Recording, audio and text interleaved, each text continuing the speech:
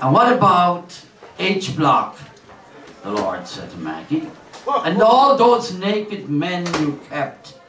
Don't you know, said the Lord, I watched them, and every night they wept. You tortured them, and you, and you held them all those years, naked and suffering. They wept a million tears. What is to be done, said Peter. My Lord, you must contrive. Poetic justice, Peter said the Lord. And to Thatcher, send her down to the H Block 5. I am a proud young Irishman. In Ulster's hills my life began. A happy child through green fields ran and kept God's and man's laws. But when my age was barely ten, my country's wrongs were told again by tens of thousands marching men. My heart stirred to the cause. I learned of centuries of strife, of cruel laws, injustice rife. I learned it in my own young life, the fruits of foreign sway. Protesters batten, tortured, maim, division nurtured, passions flame, outrage provoked, rights cause defame.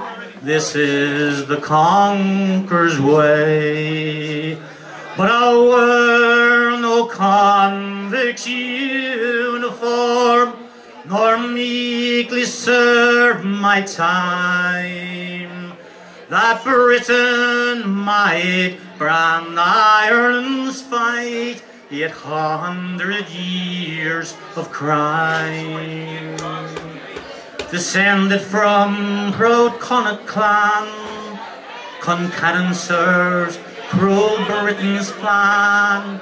Man's inhumanity to man has spawned a trusty slave.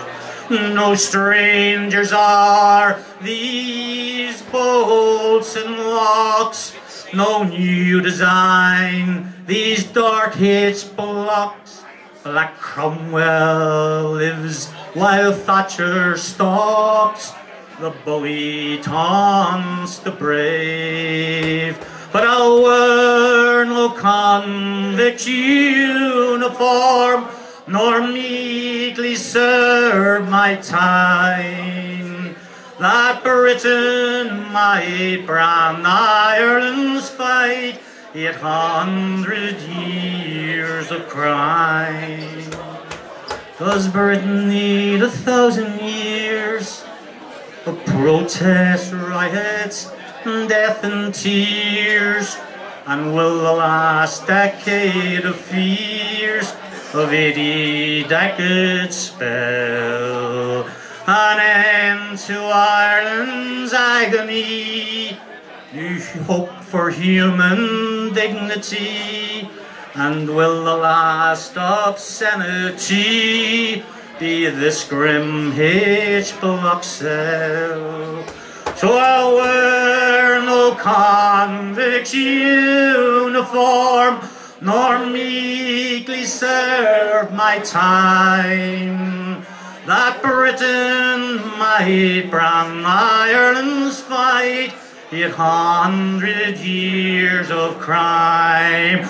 No, I'll wear no convict's uniform, nor meekly serve my time. That Thatcher might brand Ireland's fight, eight hundred years of crime.